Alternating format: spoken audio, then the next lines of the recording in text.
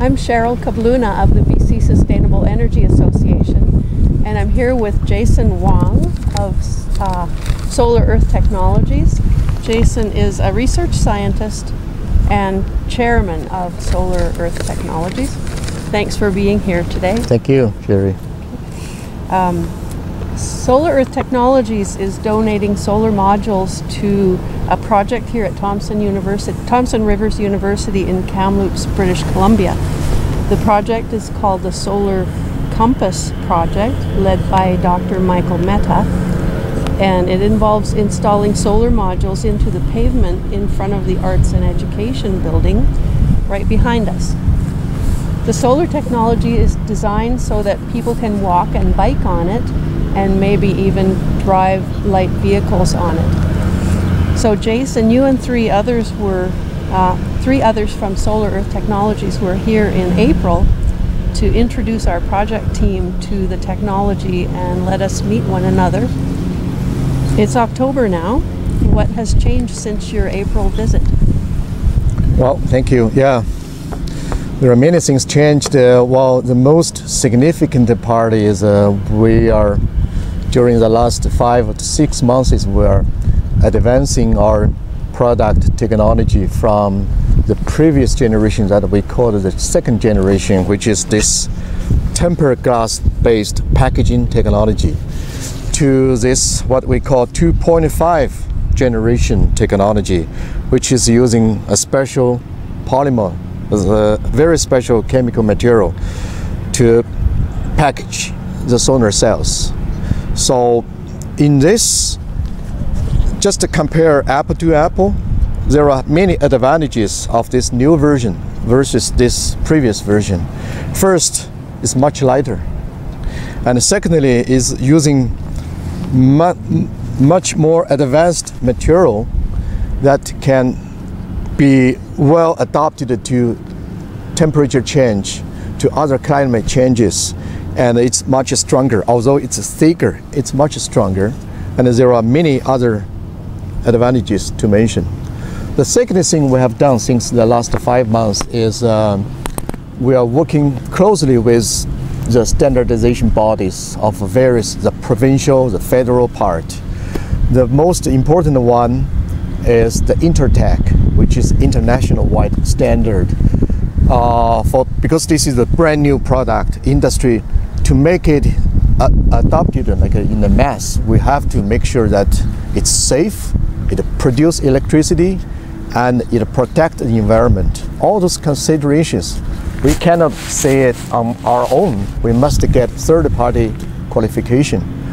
Another good, significant uh, standardization is with the BC Hydro.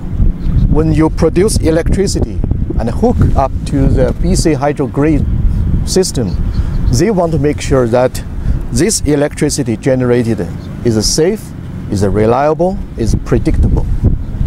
And of course, in the, the our third uh, progress during the last five months or so is uh, we work with the universities in British Columbia, in SFU, UBC, and other universities and colleges to really advance our material science, our process uh, engineering, really to an even more advanced level. Thank you. So, uh, when do you think the installation might happen? Well, our original plan is uh, end of August, which is overdue.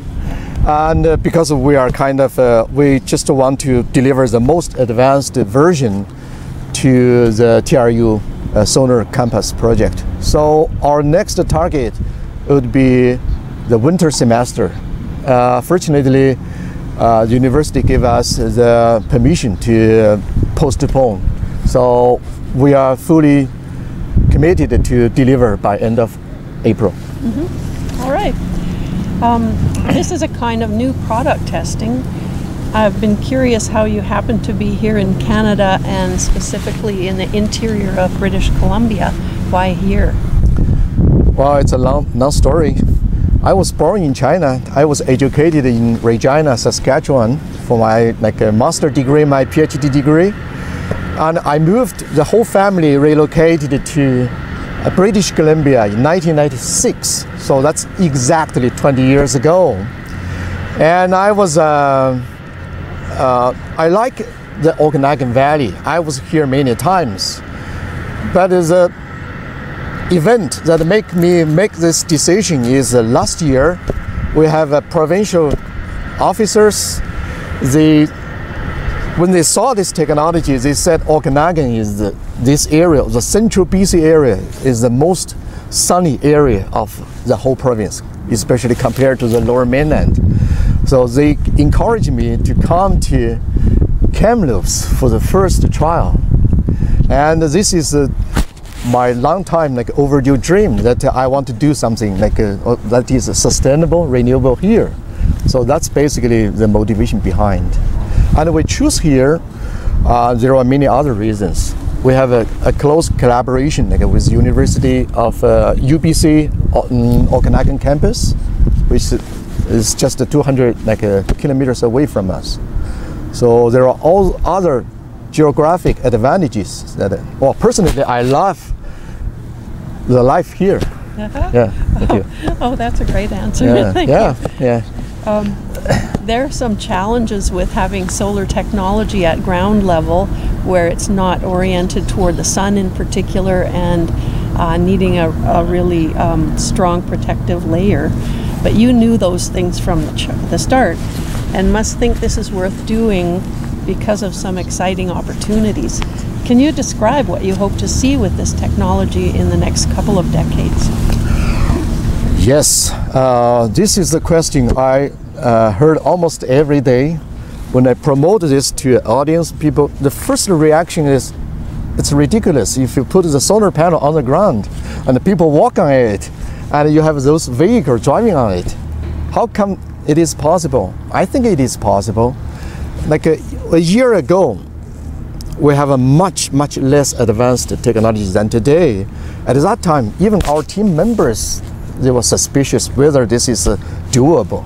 But today, we all get this confidence with more advanced versions, and also our audiences are more like accepted by uh, by this idea. I think uh, uh, we are now working on our next generation technology. I'm pretty sure that uh, our next generation will give us much higher conversion rate, much higher electricity productivity, and also more adaptive to the environment, to the landscape.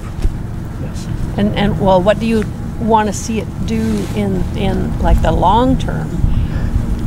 Uh, well, I have a big dream. I want to become uh, the first one to pave most of Canadians' road surfaces with the renewable material that produce clean energy. Oh, wonderful. Yes, yeah. wow. Well, it's not my own. It's not this individual. It's not this company alone. We need the whole community to support. we, we all need that. Yes, know. yeah, yeah. All right. Well, all, all of us with the Solar Compass team are, are so excited and pleased to be part of this project. Yeah. Um, th- thanks very much for coming, Jason. Thank you. Okay. Yeah, thank you. Yeah.